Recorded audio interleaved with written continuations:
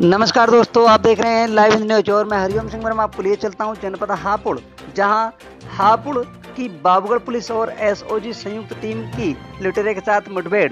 Police मुठभेड़ में एक लुटेरा घायल।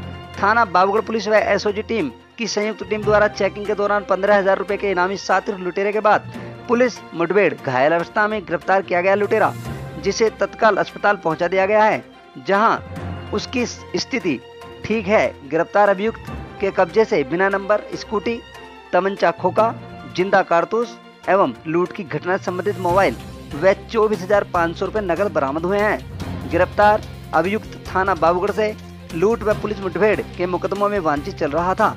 इसके विरुद्ध विभिन्न जनपदों में लगभग दो दर्जन से अधिक मुकदमे पंजीकृत हैं। एएसपी हापुड़ सर्वेश कुमार मिश्रा की माने तो आवश्यक वैधानिक कार्रवाई की जा रही है।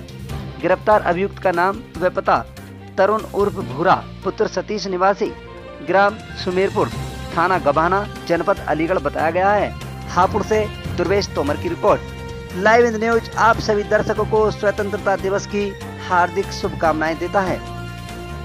भागा मुठभेड़ हुई है इस बारे में कुछ बताएँ आज चेकिंग दौरान बाबूगढ़ पुलिस और एसओजी टीम के साथ में एक मुठभेड़ हुई जिसमें एक बदमाश घायल हुआ उसे तत्काल उपचार के लिए अस्पताल भेज दिया गया है।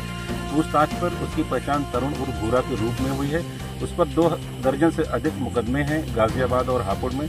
हापुड़ की लूट के मुकदमे वांछित चल रहा था, उस पर पंद्रह हज़ार का इनाम भी था।